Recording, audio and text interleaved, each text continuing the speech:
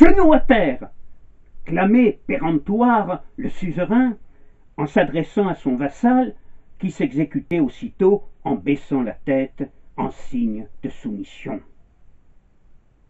Cette pratique était celle de la chevalerie. Dérivée du mot cheval, la chevalerie apparut au Moyen Âge au cours du XIe siècle. Armé d'une épée, d'un bouclier et d'une lance longue de quatre mètres, le chevalier avait le devoir de défendre le roi, les seigneurs, mais aussi le peuple, les paysans, les femmes, les orphelins, ainsi que les plus humbles et les plus vulnérables. Il devait aussi protéger l'Église et lutter contre l'injustice et le mal. Devenir chevalier n'était pas une sinécure. La formation était rude et éprouvante. Il fallait de longues années d'apprentissage au cours desquelles on devait apprendre les nobles règles de la féodalité, mais aussi monter à cheval, manier les armes, lutter, nager, chasser, être physiquement au top niveau. Dans le même temps, on devait également apprendre la danse, le chant, la poésie. Cette formation commençait à l'âge de dix ans chez un feudataire où le futur chevalier servait comme page avant de devenir écuyer.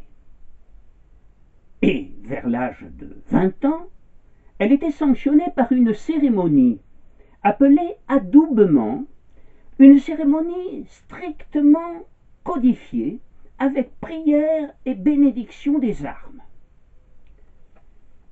Elle se déroulait ainsi. Dans un premier temps, le jeune écuyer, aspirant à devenir chevalier, était dépouillé de ses vêtements et revêtu d'une tunique blanche, symbole de pureté. Pendant vingt-quatre heures, il devait jeûner et passer une nuit entière en prière dans une église. Le lendemain, après la messe, il passait une tunique rouge, symbole du sang qu'il était prêt à verser. Tête nue, sans armes, et le genou gauche posé à terre, il prêtait serment à haute voix de mettre son épée au service de son suzerain et de protéger les faibles. À propos de la génuflexion, il faut préciser que le genou droit à terre ne pouvait se faire que devant Dieu ou une autorité ecclésiastique. Devant un laïc, roi ou seigneur, on posait à terre le genou gauche. C'était pour le jeune écuyer un signe de soumission et d'allégeance à celui qui lui donnait la force et le courage d'être chevalier. Son suzerain lui donnait alors trois coups du plat de son épée sur les épaules, en disant Au nom de Dieu, de Saint Michel et de Saint Georges, je te fais chevalier. Sois vaillant, loyal et généreux. Le tout nouveau chevalier plaçait ensuite ses mains jointes entre celles de son suzerain, qui le relevait et l'embrassait sur les lèvres, ce qui démontrait qu'ils se retrouvaient au même niveau que lui et qu'ils étaient désormais liés à vie. La cérémonie s'achevait donc dans une émotion partagée. Enfin, on amenait au chevalier un destrier et ses armes.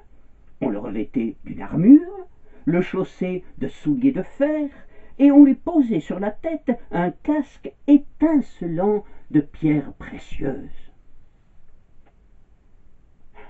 Il arrivait pourtant que les rôles soient inversés et que le suzerain se retrouve vassal, le meilleur exemple étant celui du roi François Ier, qui se serait fait adouber le soir de la bataille victorieuse de Marignan par Bayard, le chevalier sans peur et sans reproche, qu'il avait nommé lieutenant général du Dauphiné quelques mois plus tôt je vous parlerai prochainement de cette bataille mémorable dont tous les Français connaissent la date, 1515, mais ignorent généralement ce qui s'est vraiment passé. À bientôt